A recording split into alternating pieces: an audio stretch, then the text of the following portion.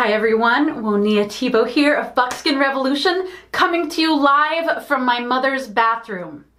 Totally kidding, this isn't live at all, I just really wanted to say that. So I am filming this in the bathroom because the bathroom has been a subject of big concern with the coronavirus, right? There are huge toilet paper shortages all over because people have been hoarding toilet paper, which I think is a fascinating social phenomenon because of all of the things to worry about in a potential, you know, massive shortage. I don't consider toilet paper all that high on the list. However, I understand that most folks aren't used to being without it. Here is something good to consider. The vast majority of the world doesn't even use toilet paper. If you don't have toilet paper or you're low on toilet paper and you want to conserve what you have, there are some wonderful strategies that can make a big difference.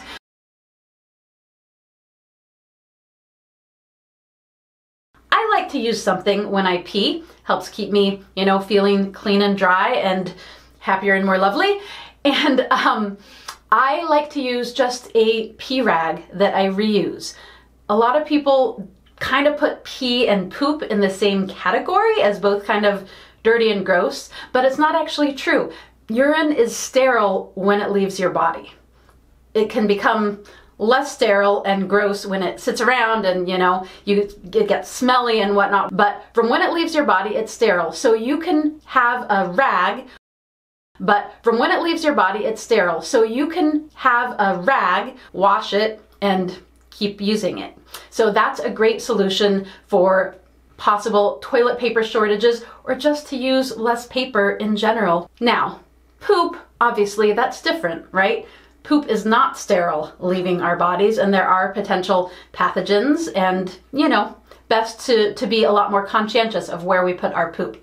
So the system that I used for a long time when I lived off grid was I would have a little bit of toilet paper and I would wipe the first time with just a minimum amount of toilet paper and get off, you know, any solids or the, the dirtiest wipe with just a little bit of paper. And then I would take a piece of cloth and I would squirt some mildly soapy water onto the cloth and then I would use that to scrub real good. The soap and water is actually way cleaner and more hygienic than paper. Plus, because I'm using, you know, the cloth on my hand, I'm not actually touching my butthole. Now, you can do this without the cloth and you can use just water and just wash your butthole with your hand and splashing water up there. A lot of the world does this. Also, bidets are a way to use water without using your hands.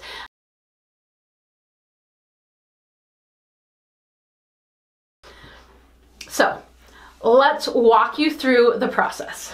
What I have here is just a scrap of an old flannel sheet that was kind of like my camping sheet. So you can see it was kind of ratty and falling apart.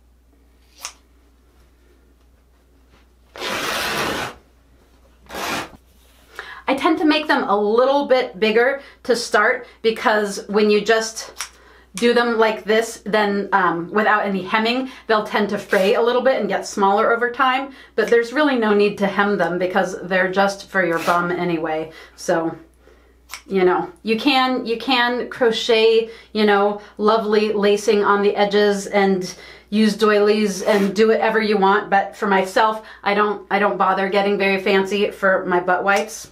To each their own though. These very same cloths would be just fine for pee rags too. Usually this is, you know, maybe a little bit bigger. This is what I would carry on me to use over and over, but I'm gonna suggest that you use a different type of cloth for your pee rags than your poo rags, just so you can visually tell. Flannel is great for both, but I'm gonna use, you know, a different piece of material so that I can tell the difference. Like yellow daisies, right? Perfect for pee rags. And, you know, maybe a darker color would be a little bit more visually pleasing than white flannel for your poo rags. Just saying. So now I have a bunch of these little cloth squares and I like to have a lot of them on hand, you know, ideally like at least 30 or 40 of them because it's nice to not have to do this particular kind of laundry all the time. It's kind of a weird load of laundry. And then I'm gonna make up my washing solution. So I'm just gonna take a little squirt jar of some kind and I'm gonna fill it with water.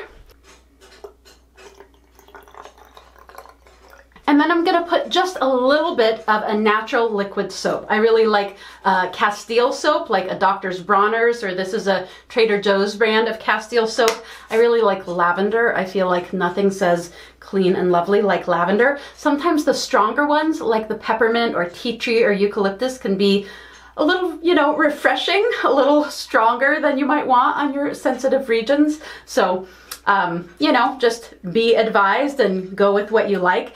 You want it to be really mildly soapy, less soapy than dishwater or something because you don't want to have to rinse with water again. So it's just a little bit of soap to do the job and make it antibacterial. So just, uh, you know, probably like half a teaspoon in a container like this is fine.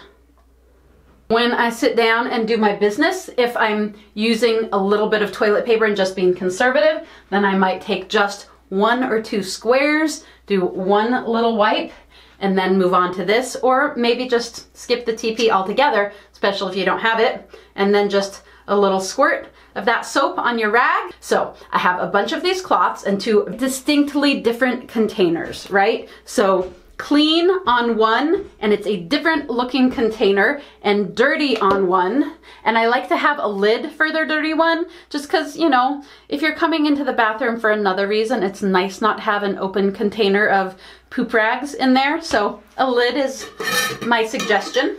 And I take them from the clean container, squirt a little of my mostly water with a little soap solution, wipe my butthole clean, and then put it in the dirties container. And then once the dirty container is full and I'm getting down to just a few of the cleans, then I wash them with hot soapy water totally hygienic, good hot water. You can run them through the normal wash cycle. You can wash them by hand in a dish tub or a five gallon bucket, and then you can dry them, put them back in the clean container and use them infinitely. So super, super you know, environmental and resource conscious way to actually have better hygiene than you would have with toilet paper.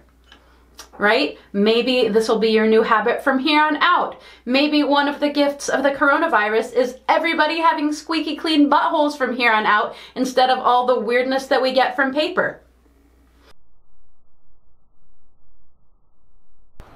Just wanted to mention too that I am doing everything I can to empower people with lots of good knowledge to feel good and safe and healthy and strong. And I would love your support. Check out my website, Buckskin, Buckskin Revolution, for more great resources and also some products you can buy to help support me. Also subscribe to my channel and consider supporting me on Patreon, which is where most of my funding to do all of these videos is coming from. I don't yet have a booming channel, so I'm not getting income from these videos unless folks are supporting me on Patreon. So thank you so much, everyone.